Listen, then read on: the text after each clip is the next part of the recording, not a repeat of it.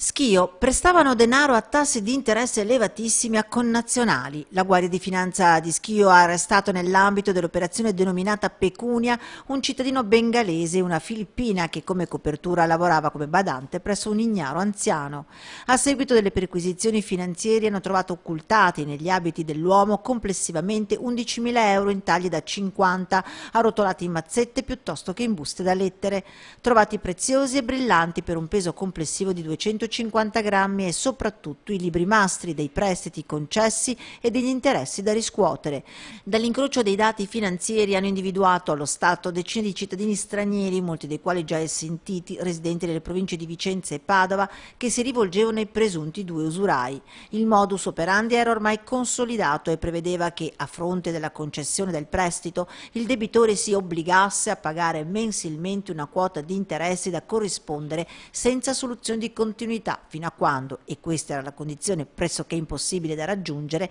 la vittima fosse stata in grado di restituire in un'unica tranche l'intera somma ottenuta. La donna poi era arrivata a trattenere impegno i documenti di identità e ricattare le vittime di svelare il debito contratto. La Filippina pizzicata in flagranza mentre un'altra cittadina asiatica le consegnava una somma di 1300 euro, davanti ai finanzieri ha tentato la scusa di fungere da mero tramite per la consegna delle somme, ma non è stata creduta e sono scattate le manette.